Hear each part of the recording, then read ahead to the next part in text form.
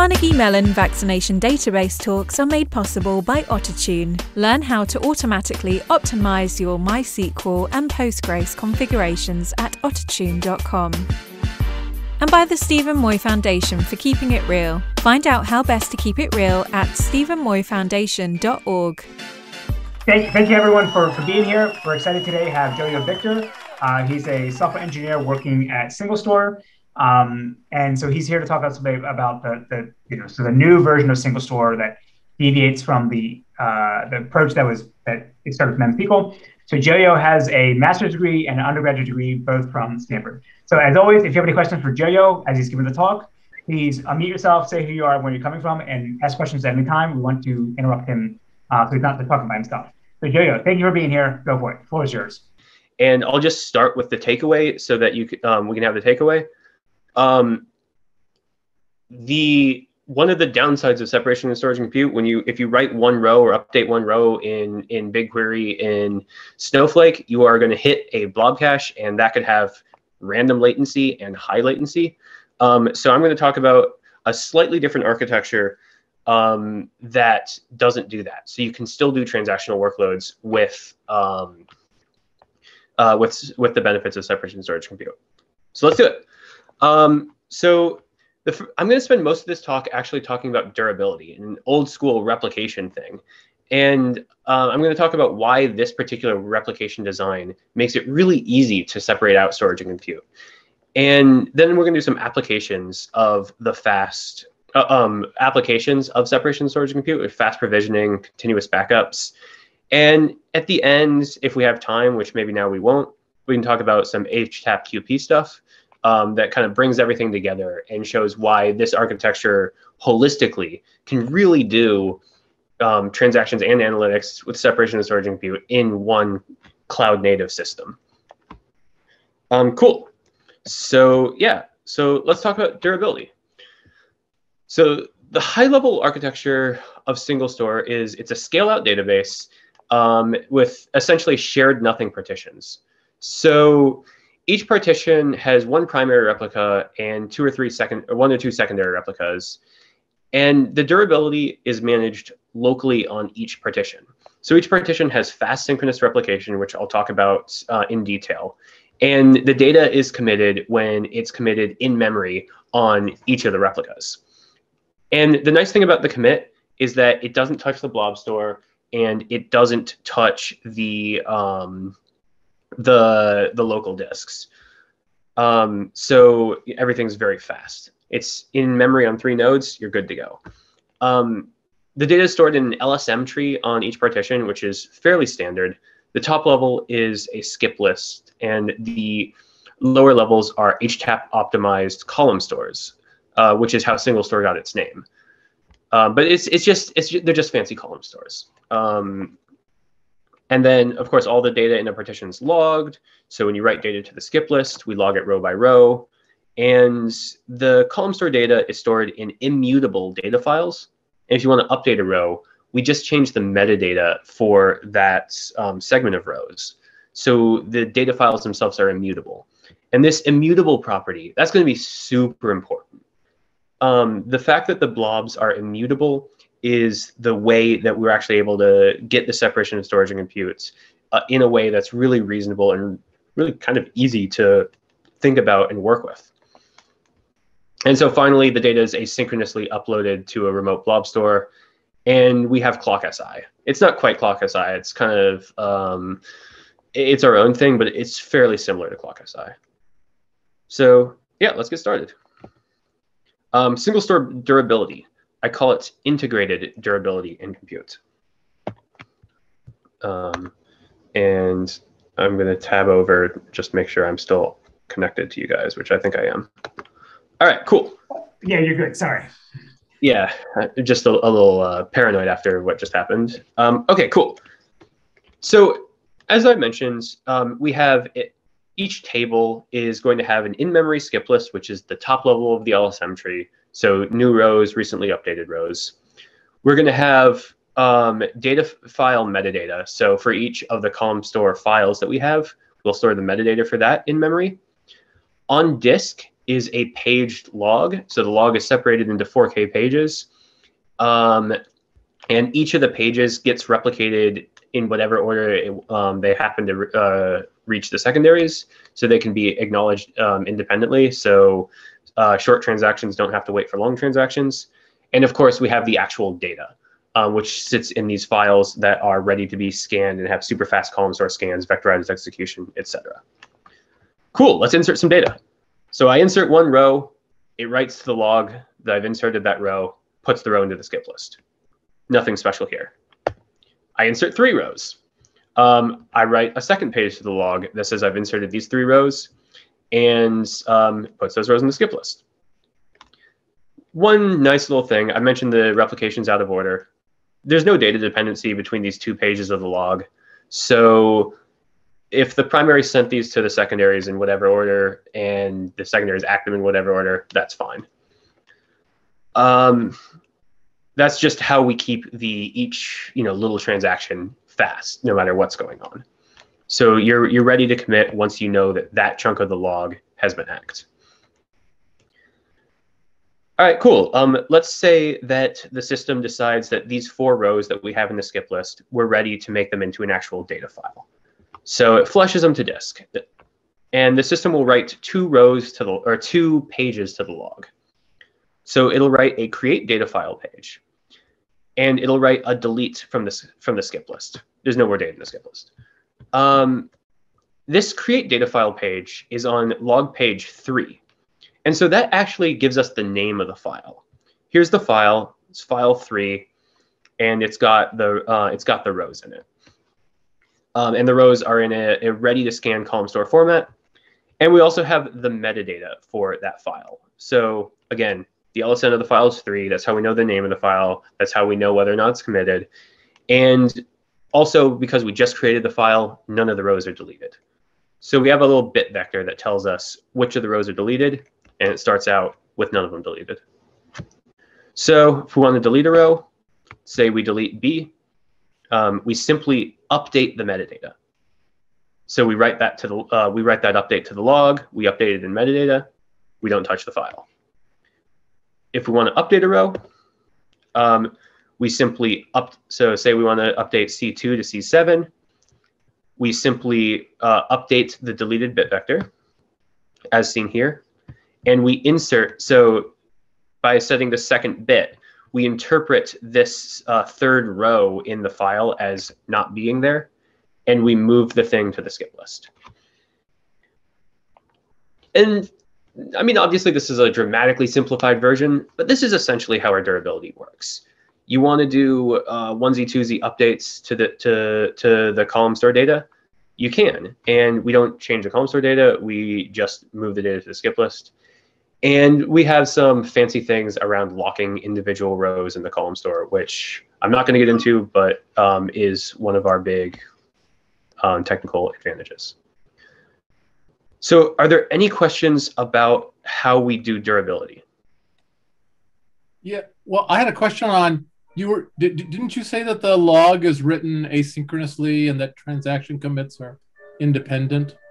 um, to allow the log is written no so the log it's the log is synchronous replication so you need each each page of the log needs to be in memory on however many um, replicas you want it to be before the thing is considered committed i understand but, that but but as far as like this transaction one and transaction two could couldn't two have gotten to the three replicas before one or do you are you saying that two wouldn't be processed until one was committed no, that's correct. Two could be um, sent to the three replicas before one was, um, and that would be totally fine. If okay, there was. okay, so then uh, okay, I understand. That's how I understood you saying it. And then, but, but what what about three? Three cannot be cannot happen until one and two have made it to all the replicas. So what is it that is protecting three to have happened, as well as four cannot happen until three has happened? Um, the just like the here we have a, a logical data dependency. The fact is that the the flushing process can't commit on the primary until the things that it's trying to flush are committed. So those nodes, w- while you're waiting for the acks from the secondaries, you'd be um, those rows would have like row locks on them, um, or you know they wouldn't even exist yet if they haven't been sent. So, yeah. So the the the, the whatever happened, like the, the the fact that the thing was able to happen on the primary um, guarantees that uh, guarantees that if the secondary uh, tries to replay what it does have. So suppose that um, two was committed, but one was not. If you fail over to the secondary, you're just going to have three, two, five. But the user would never have received an acknowledgement that one was written. On the other hand, uh, three could not have happened because the primary just didn't have access to this row. So, oh, well, I mean, so it three. You're saying three couldn't have happened, but three doesn't seem to reference uh, A, B, C, D. So, or is that actually in the metadata of that log record for the create data file, or? Uh, it's not in the it's not in the metadata. It's in the data. Yeah. The, Okay. the, the process is going to like scan these things and form them into a column store file, and it's it's not going to take the ones that aren't committed. The just the iterator's not even going to see it.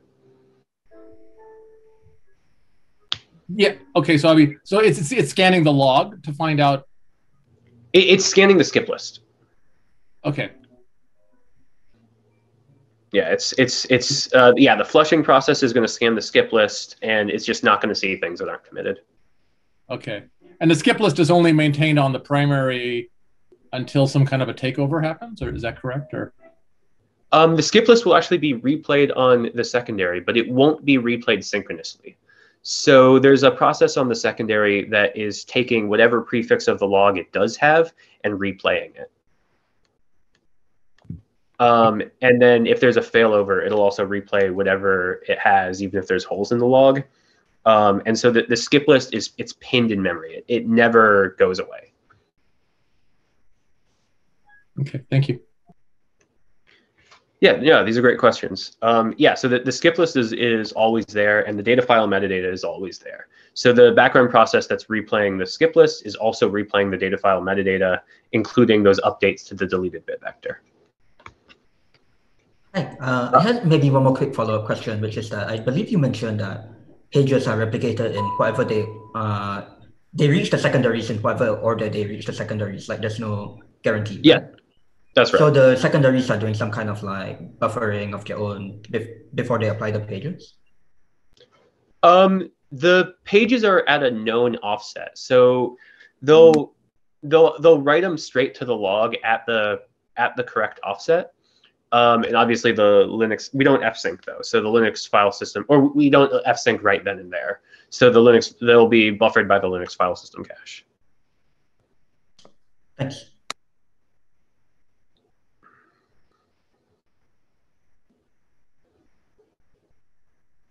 Cool. Okay. Um, so yeah, recap. So the log is used for the manipulation of individual hot rows, but also file metadata, um, which is kind of funny, but that's that's the way it is. Um, bulk data is stored in column store data files, um, which are immutable. Um, and the data is committed when it's replicated um, in memory to a handful of nodes and the replication is lock free and out of order, so it's super fast, low latency, predictable latency. Um, and I haven't said anything about cloud storage yet. So the write latency is low and it's predictable. Um,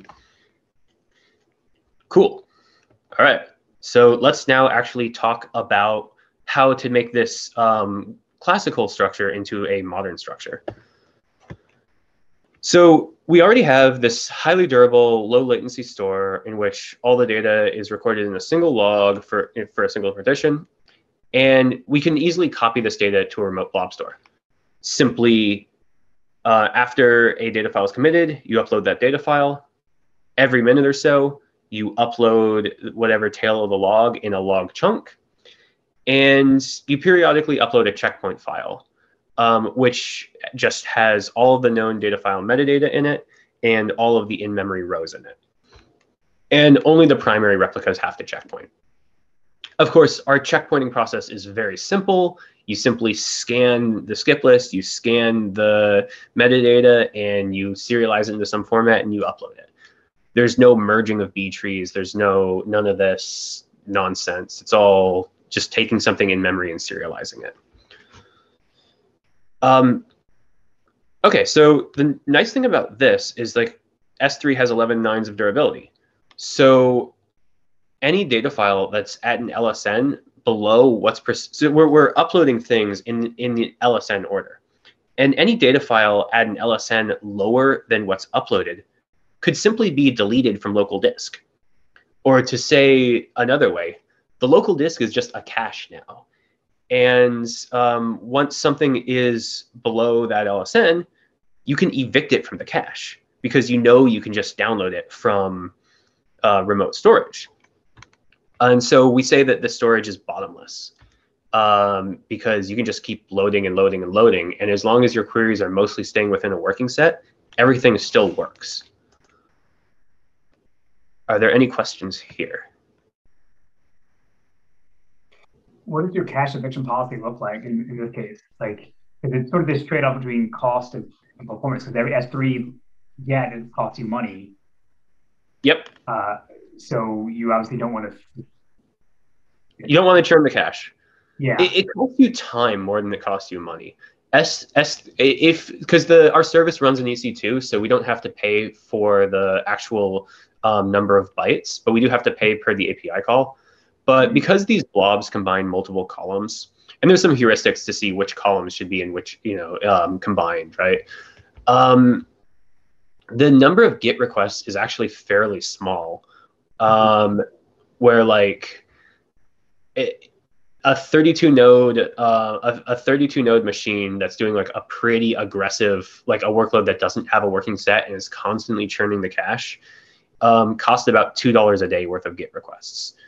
Okay. Uh, so like it's not free because you can have a lot of nodes, but like Yep. S3 is cheap. Um, but Okay. the time is just horrible. If you have to download a lot of data from S3, um, you're looking at, you know, I don't know, hundreds of milliseconds per fetch. It, it so that part of it is bad. Um, so anyway, to, answer your question, we use LRU2. Um, and in certain cases, we'll just store the thing in memory instead of storing the thing on disk. Um, but you know, so like if I do one scan, it doesn't totally destroy your cache. But yeah, it's um, it, this is a really subtle problem, and we are still working on tuning it. Um, so this is like a very active area of of uh, development right now. No, I, but I think that the most important thing out of this is that you said that the cost is you don't care. It's, it's really performance still, even though you're paying per get call. Who get like who cares? Yeah, I believe it's half a cent per thousand GET requests. Um, A thousand GET requests is um, 32 gigabytes, which, you know, I don't know, half a cent per 32 gigabytes is not crazy. Yeah. Okay, that's fair.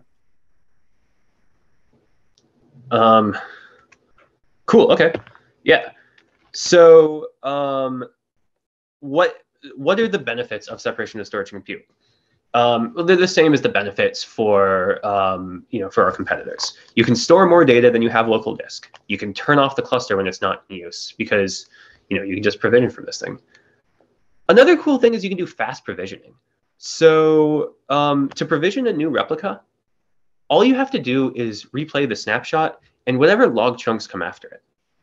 You don't have to download the um, you, you don't have to download any of the data files. You obviously have to download the data files if you want to run queries, but in order to just get up and running, get ready to serve redund- you know serve acks for redundancy, you don't really need anything. So and and and the the snapshot files and the log chunks are small relative to all of the um, data files. You can also burst reads, and you're only going to have to download the files that you're actually going to read. Um, and if you're a little bit careful about it, you can burst writes. And of course, by moving all of the data to one place, you have automatic continuous backups and point in time restore. 11 nines of durability. The thing's not going anywhere. It's awesome. So you never have to think about taking a backup again. Um, and I'll talk a little bit about how we do that as well. Um, so, so, so, so these are the benefits that uh, that we have, and Snowflake and BigQuery have, and Aurora has. Uh, if you have a separation of storage and compute, you get these things, and it's cool. And if your database doesn't, it's not a modern database, in my opinion, or at least not not not not in the cloud. Like I just think this this stuff is uh, table stakes, and it's also vaporware for SingleStore. We don't have it uh, generally available yet, so I'm kind of you know making fun of myself a little bit. But um, yeah, I think this stuff's a big deal. What are the benefits of SingleStore though? Well, you have um, low predictable latency, um, and it's resilient to temporary blob store outages. So if my blob store goes away for 10 minutes, um, which it's allowed to do because it doesn't have that many nines of availability, I can keep writing because the writes only talk to the cluster. Um, if you know, I can't read data that's not in my local cache. That's the only bad thing that happens. Uh, super easy to handle bursts in the workload. Um, I have unique, I can do unique key constraints because we don't have multi-master. That's kind of, uh, Snowflake, you can write from anywhere, but like the writes have to take all these global locks and it's, it's a little bit more complicated. And it, I just think that this design is really easy. Um, yeah. Uh, of course, the trade-off is only one cluster is writable. You can have readable secondaries, but only one writable secondary. And if you lose an entire region, then you will lose data. Um, so the advantage of, oh, I committed the row, it's in S3, you will never, ever, ever lose data. Um, any questions here?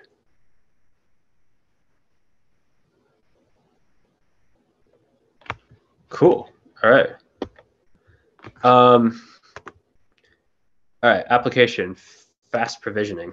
Um, so I talked a little bit about fast provisioning, but um, I'll talk a little bit more. So the question is, what do you actually need in order for a replica to come online? Well, you need all the data file metadata, and you need all of the in-memory rows, all the rows in the skip list. So provisioning a new replica is really easy. You just download the checkpoint, whatever log chunks come after it, and replay it. Um, and then you can just replicate the live data from whatever the current primary is. Um, and so like this is an operation that can happen in seconds to minutes rather than downloading many terabytes, which would take longer. Um, so if I want to provision something to uh, do redundancy, well, I literally just provision it and it's ready to act writes. If I want to burst reads, I have to download the new working set and then I'm ready to run reads. It's a little bit tricky to burst write. It's trickier to burst writes, but you can still do it um, all you have to do is reshuffle your partitions. So if suppose you have 100 partitions across 10 nodes, you could split that to 100 partitions across, across 20 nodes just by spin up 10 new nodes, provision new secondaries there, preheat the cache, and then failover.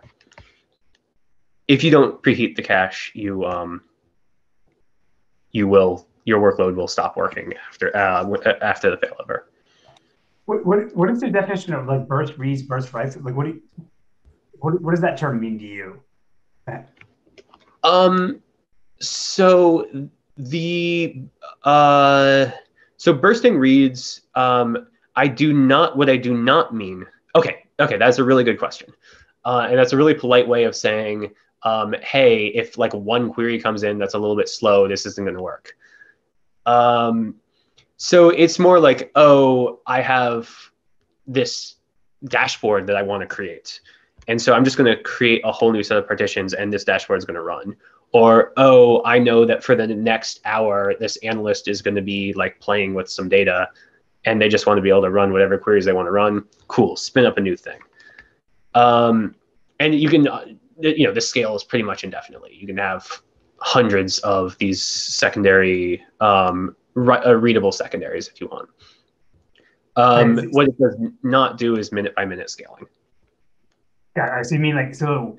There's some provision you can do ahead of time, within, you know, maybe not on a per minute basis, but like with some amount of time. The idea is you could spin up a a new partition or new set of partitions that services one application away from the main the main store. That that's right. Yeah, Okay. it, it's it's it's more akin to Snowflake's warehouse idea. It, it's Yep. just Snowflake warehouses. It's like Got it. the same thing. Yep. Um, yeah. Uh, bursting writes, it's more like, oh, there's just like it's, you know, it's six o'clock. Everyone just turned on their TVs. What you know, whatever it is. Um, are there any other questions about fast provisioning? Uh, hi, sorry, quick question. Why do you need to warm up the cache for writes? Um, so the reason you need to warm up the cache for writes is because writes can only happen on the primary cluster. If the primary cluster isn't doing very many reads, then you don't have to wor- uh, warm up the cache. But the assumption is that there's some workload happening on the um, on the primary set of partitions that you you wouldn't want them to suddenly all have a cold cache at the same time. Um, so it's it's also true that like let's say I, I have just redundancy too. I've got one primary, one secondary, but the secondary like isn't you know no one's querying the secondary, so so the secondary's cache is cold. If the primary dies and I do a failover, whatever workload was running on that primaries is just going to grind to a halt because it has to down you know it has to download however much local disk um, that the primary had. Um, so actually, even our redundancy secondaries, they do best effort to keep the cache in sync with the primaries. Um, or they, they get stats from the primaries because you don't want to like use up the you know all that much space, but you want it to be like warm, even if it's not like super hot. Um, does, does that answer your question? Yep, got it. Thanks. Is it really availability if after the failover you have to download you know 100 terabytes? Like that's that's kind of that's kind of what's what's up. So it's you know it's asynchronous, it's best effort, but most of the time when you fail over, you're not gonna your workload's not gonna be pillaged. All right. Um, hey, Joyo, question on that. Yes. You were just saying that in replication, we, we do our best to replicate to the secondary as well. I thought that only data replicates. It sounds like you're saying the plan cache replicates, uh, or what exactly? How's that done? Um, it's it's not the plan cache. It's it's just the um the the blob cache. Um, uh, it doesn't replicate. There's just like a little heartbeat that says like, hey, I noticed these blob like it just gives you statistics on the blobs. Hey, these files are hot. You might want to keep them around because th- th- no one's querying the secondary, so the secondary doesn't know what um, files are hot. Okay, cool. Thanks. And, and again, the main reason that you do this is for availability. Um, because something that's queryable but slow is not particularly available. Um, how much time do I have? Yeah, you have like uh, 17 minutes. 17 minutes? Great. All right, cool. Um, so I'm just going to finish up by talking about some loose ends. Um, so this is really a talk about storage, but I, I just want to talk about our, our query layer and some of the query features that, that we have that make SingleStore really unique. And um, you could dedicate entire talks to them, but um, we just don't have time. And there, there are features which uh, also let you do transactions and analytics in the same system. So, um, if you so of course we have a scale out cluster, and you have many shared nothing partitions on several hosts. So one of the issues that you have. Uh, oh, before I, I, I talk about the the QP features, I, I wanted to talk about um, more storage features. I'm sorry. Um, so all of the logs and LS, uh, LSNs, uploads, that all happens independently. So an LSN on one node could be different than an LSN on another node. And um, so what we do is the tran- each transaction is given a logical timestamp, and it's inspired by um, clock SI.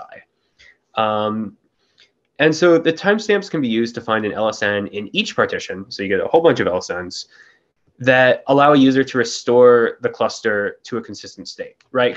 I was like, okay, I have you know all the data ever for each um, for, for each partition, but I want all the partitions to be at the, at the state that they were at a very specific time. And so this allows you to do that down to making sure which transactions in, which transactions out.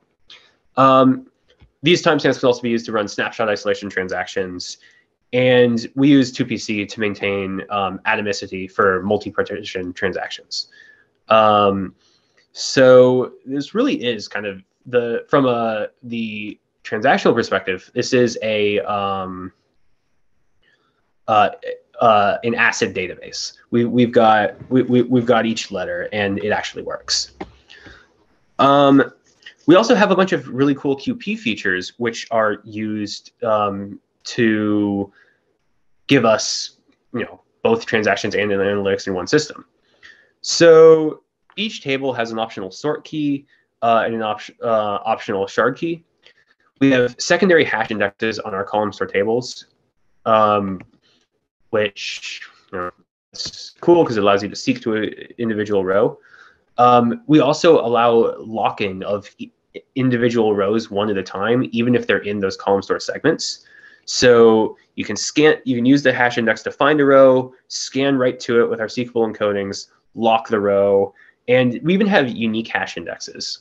Uh, some things are still going to suck. You want to do an upsert, you're going to have to like jump all over the universe, you know, decoding each of the different um, each of the different columns. But like you want to just get a unique key constraint, insert, ignore, or even just replace a row. Um, these things can all happen super fast. And if you combine these facts with the facts that the hottest rows tend to stay in the skip list, our SingleStore's column store can perform kind of within an order of magnitude of a row store database on point write transaction workloads, uh, which I was pretty shocked to hear that this all kind of came together and worked. But we've got benchmarks of us running um, TPCC, and you know, okay, obviously it's not as fast as row store, but it's only like ten times slower. Um, and I thought that was like pretty cool. Um, so are there any questions on the last two slides? I guess I would ask, you sort of set yourself up. Why is it 10x lower? column store, like, are you, like, are you competing against Postgres MySQL running on a single box? Like, what's the, what was the uh, comparison? Sorry, I'm, I'm sorry. Yes. Um, SingleStore has uh, full row store tables, um, which essentially just means everything's in the skip list. And if you pin everything in the skip list, then in addition to the things always being hot, um, you also don't have to like, you know, open those those column store secondary indexes. And so you don't even if you like want to do, do a unique key check, you just you know you just check it on the skip list. It's gonna be crazy fast. Um, like yeah, I I have seen Andy Andy post on Twitter some comparisons of um, like skip lists and BW plus trees and stuff like that. But um, that's my next question. But we, we, we can take it now. Why? Like, like you guys rewrote the whole engine going from the row store to the column store, the, the, the SingleStore. Like this back when the Skill Club had people. Why did you keep the skip list? Um, we kept the skip list so that the hot rows stay hot. But it, you could have done that with the B plus tree. Um, I, uh, with all due respect, I think that your skip list is not as good as our skip list. That's fair. Okay.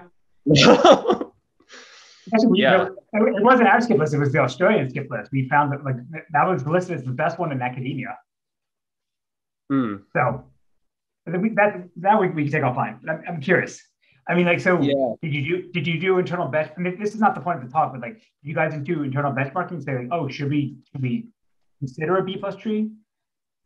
Um, no, I mean, our skip list is like pretty simple. Um, we we do have uh, an engineer that has written a BW plus tree at uh, Microsoft, um, and he he swears that they're better, but everyone knows they're more complicated. Yeah, yeah. Um, I, no, no, so that that's a BW tree. I don't recommend that. I'm saying, but uh, a good solid B plus tree, at least the literature suggests that, not just mine, other things, that the, the, the B plus tree outperforms the skip list. I mean, there's other things you have to worry about in your system. It's only one facet of it. I was just curious, like, okay, let's go build the entire thing. Uh, you know, and we're running a whole new engine. Let's consider maybe looking at a skip list or something alternative than a skip list. And then someone posted, into the Simu skip list double linked? So again, it is not our skip list. We found it from this guy in Australia that was listed as the best skip list that was open source. Yeah, yeah, that I was I it, it was years ago, but I was like, is, uh, was this the guy with the double E link skip list? Like, yeah. Um, and it, and it wasn't towers; it was wheels. It was some Australian thing. Yeah. Um, I I think that it just kind of like most of so most data is going to be in the column store segment. Most people uh, that have you know these huge data sets, um, the in-memory part just has to be fast enough for these point workloads to be like a bajillion times faster than the column store. You want one row, like you, you're not gonna you're not gonna beat these these very simple data structures. That's fair. No, and then and then if you if you're gonna be scanning it a lot, like a column store is just better for scans, you know. So like um, the skip list is just absolutely terrible for scans, but you don't scan it and it's okay. Okay, right. All right, sorry, is this going to talk? We, we can open up to, to the questions of the audience if, you're done, or do you have more slides you want to go through? Yeah, yeah. Um, no, I'm. Uh, I have one more important. Yeah. Uh, so, okay. So conclusion. Um, we got benefits of sorting compute. Integrated durability uh, means we're not sacrificing transactional latency. Uh, our query processing feature set lets us do the point workloads and the hybrid column store table uh, without sacrificing scan performance because the scans happen on the column store. And so it's a good candidate for an HTAP database. And the most important slide, we are hiring. Um, so awesome. now questions. Awesome. So I, I will applaud and have everyone else. Sorry, my, my I had written down about the skip list question. I was saving it to the end, but you kind of like jumped into it. Uh, mm-hmm. So, okay, we'll open up to the audience if anybody has any questions. So, uh, hi, I'm Lin. Uh, thanks for the nice hey. talk. I have a little bit of maybe higher level or from the application perspective mm-hmm. question, which is uh, you mentioned that uh, uh, it's you have a synchronous replication, but then you will commit the data as long as I mean the data reaches in memory on replicas, right? Instead of waiting mm-hmm. for everything to finish right? Mm-hmm. Yeah, so I'm wondering, just wondering from a application perspective, have you um, ever faced a little bit maybe concern from the customer saying that, hey, my data has not reached disk yet. What if, I mean, more than half of the replica just gotten like down? I mean, has, has your customer any, have any, have you any, have you faced any pushback from the customers kind of thing? Um, yeah, so uh, that's just the default. We also support sync durability, and some of our customers do use it. Um, it just depends on how par- uh, paranoid people are. Oh, so then I'm actually a quick follow up. Pretty curious. Do you know maybe how much of your customers are using the, uh, I mean, synchronous uh, uh, durability one, or versus how much are using the asynchronous one? Which is pretty curious. Uh, async is the default, so I'm gonna guess like 99% of people use async. I'm only aware specifically of one customer that does sync durability. Okay, interesting. Yeah, thank you. Hi. Uh, I guess I have another question of you mentioned at the start of the talk that like you started off with fast synchronous replication, but so you also have asynchronous replication. So I guess you said most of your customers use asynchronous durability by default.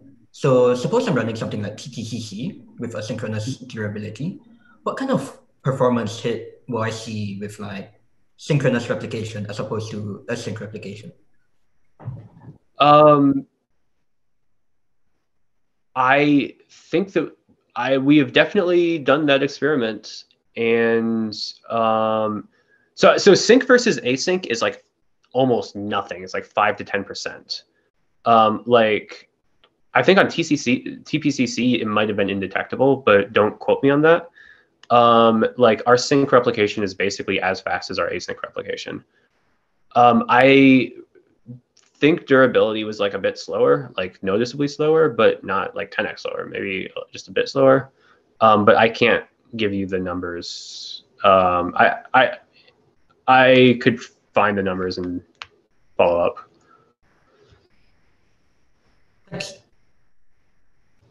Uh, just to follow up, when you say it's not 10 times slower, you mean throughput, not latency, right? Uh, I mean, both. I mean, the latency, because, you know, yeah, I think the throughput is like identical and the latency is like 10% slower or something. But how is that? So from from personal experience, I feel like S3 is going to be orders of magnitude larger latency when it comes to commit, right? The commits never touch S3. So, so what do you mean by synchronous, like synchronous durability? Then, if it if it doesn't draw the line at S3, uh, synchronous replication means that you have acks from um, as many nodes as you need. So in, the, in this experiment, it was just two nodes. So you have acks from one node. That's sync replication. Sync durability means you're on disk on two nodes.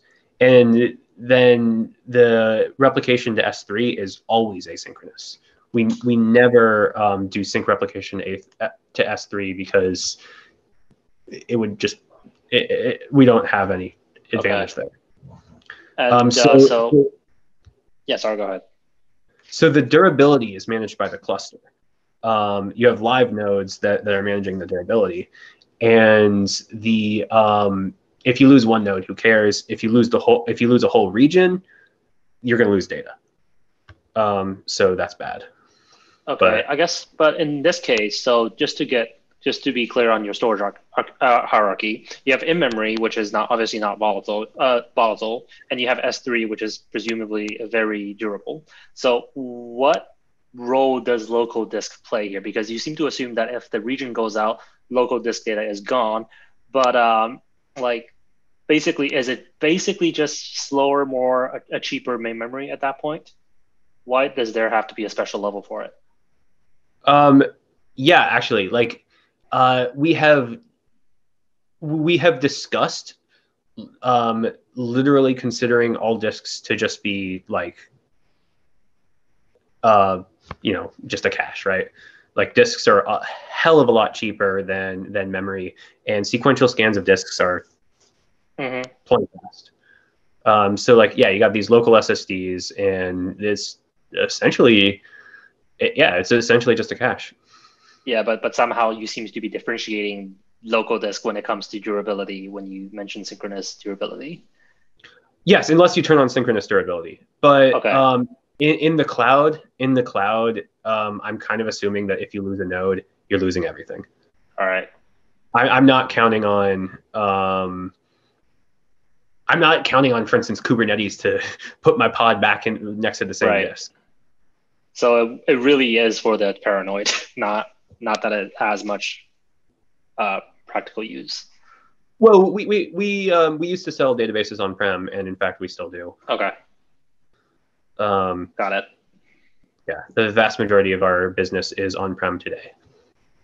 Got it. Cool. Thank you very much. Um, th- this technology, I'm hoping, will be generally available like in this summer, but none of this technology um,